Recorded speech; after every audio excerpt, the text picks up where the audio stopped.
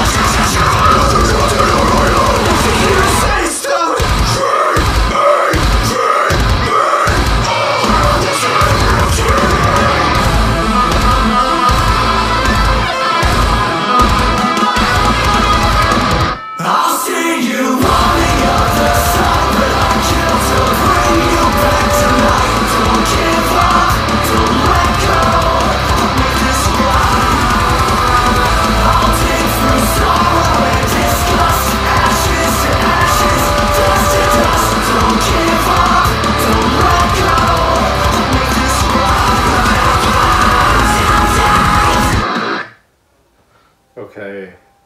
Wow, we still have four minutes left. First of all, that chorus is an earworm. Is it better than Assault and Batteries? Gosh, I don't know. We still have quite a bit of the sound left. Uh, but as far as like the sound effects go and all this stuff going on in the video, like I'm able to focus so much better, obviously, because I'm not glued to my phone. But second of all, I think it's easier to follow what's going on. Great acting skills as always. So, I oh, man, this sounds great.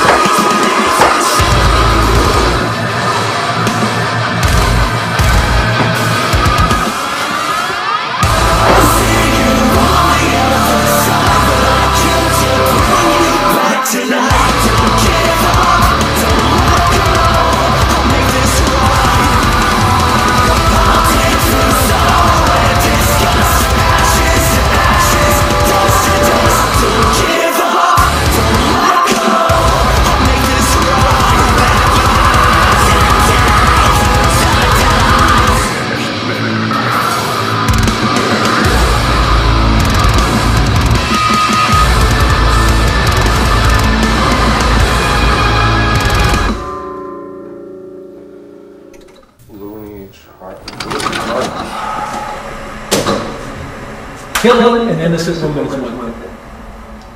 It's another thing to rip off the king. That is fucking sacrilege. Elvis? Didn't he die on the toilet? No, no, Stephen King, you asshole. That was literally Pet Sematary. All right, all right. And the asshole has walked. And all we've got is a fucking pile of fucking videotapes that mean nothing. Sorry we couldn't have dug up more on this guy. We should have dug deeper. The bite marks matched, but you heard his lawyer. Yeah. Foreplay. Yeah. He's a kinky motherfucker. It was the ice pick that did her in. Three stabs in the chest, two in the stomach. Yeah, but it was the one in the back that killed her. I've heard this all before. I don't want to rehash it. You guys did a good job, but get the fuck out of my sight, okay? Damn. You especially. Your jokes are really horrible. Humor is subjective.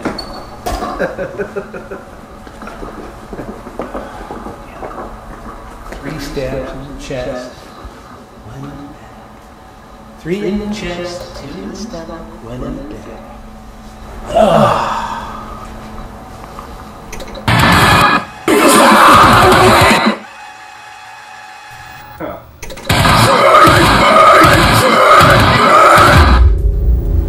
Three in the chest.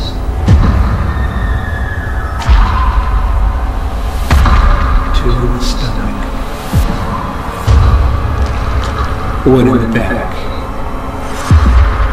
It's the one in the back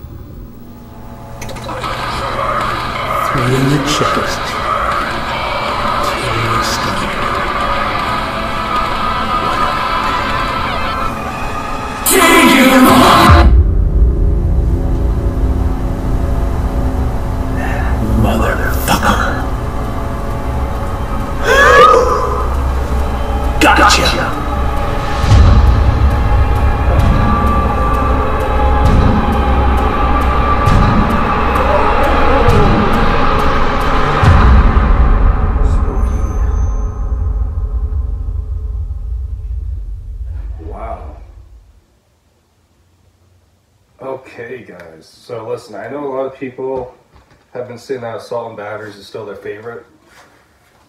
How in the mother freaking hell did this top it for me? Like I'm literally like so shocked. Not just like the visually and climatically and all this stuff, but sonically speaking, okay, this is what it's all about. You know, this band is obviously can be talked about in certain aspects of what you want to dig deep about. Get it, pun. Intense. We got the nice little guitar leads from Mr. Dan Sugarman. He is on his first album, I think, doing this shit full time though. Like last album, that's when JD JD was still in the band. He's on and Motionless in White now. With Raining Day was drop C sharp, so I had more of a radio rock approach. Hip to be scared, somewhat the same. Drop C sharp. This is more in vein of assault and batteries, more down down tempo. But uh, that's what I like about this band. They're able to now, ever since the Silver Scream, they're able to do that one side of them that's like, okay, let me do this stuff and still be considered Ice Nine Kills, but to like coked out level of Ice Nine Kills, like just that shit crazy sort of stuff. Okay, I get it. We're gonna have the freaking deathcore enthusiasts come in and be like, dude, what are you talking about? This shit's heavy to you. Listen, I listen to a lot of metalcore stuff. I don't care about a lot of deathcore because it all sounds the same to me. This has more oomph and grit to it for me to dig deep into again. That word. Just so many aspects to this band. And uh, with that being said, I think that the way that instruments are able to come up with in sync with Spencer's vocal style, it's just insane how freaking talented the dude is. And he's like a movie actor too, as you can see. Uh, really awesome skit too at the end.